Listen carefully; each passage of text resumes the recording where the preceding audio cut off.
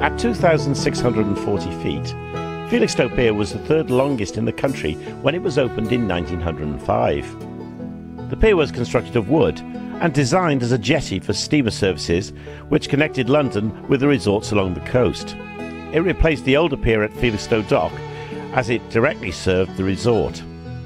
Because the pier was long and narrow with a tramway, there was little space for amusement, shops and cafes like its counterparts in Walton on the Naze and Clacton, for example. And it wasn't until the late 1920s before facilities were put in at the landward end. The heyday of the wooden pier ended in 1940 when sections of it were blown up to thwart an expected German invasion. After the war, the stranded sections were removed and the pier buildings replaced with the concrete structure that people in Felixstowe have been very familiar with uh, for the last number of decades.